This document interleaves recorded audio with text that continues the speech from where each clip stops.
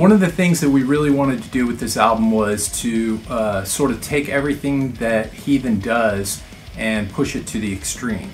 So, in the case of The Blight, we really wanted to make the aggressive parts more aggressive, the melodic parts more melodic, and uh, that heavy part in the middle uh, really heavy. So that was really kind of the, the goal with the song in terms of, um, of the music. The Blight is basically the opening track on the record after the intro, This Rotting Sphere. And we really wanted to come out with a, a thrasher.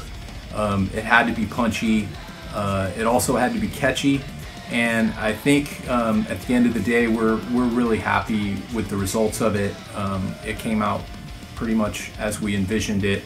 It's got a hook, uh, but it's, it's really mean and aggressive, and that's really what Heathen is. It's those combination of elements that make the band sound.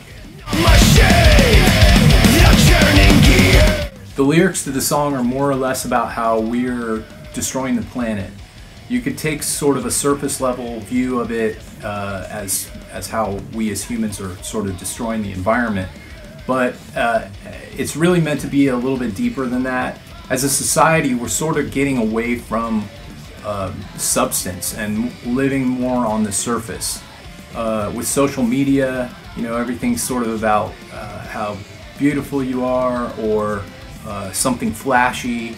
Uh, it's it's about getting that that quick attention, and um, that sort of lack of depth is the is what the the song is referring to as we're dead inside. The song is basically about that. It's about how we are uh, destroying our own society because we're not focusing on the things that are important. We're focusing just on surface level things. Musically, The Blight is sort of linked to this Rotting Sphere, the intro. Um, in fact, the chorus in The Blight is the same overall music as the intro. And then there are elements that are sort of sprinkled throughout the song um, as a re reprise or reprise, whatever, of the intro.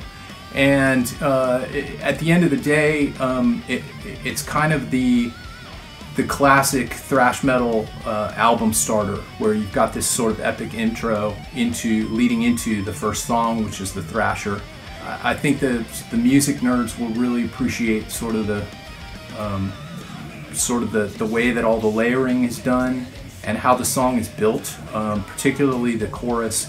Um, there are actually four different guitar parts going on at the same time, which, you know, from a listening perspective, there's something new and interesting to sort of listen to um, on repeat listens.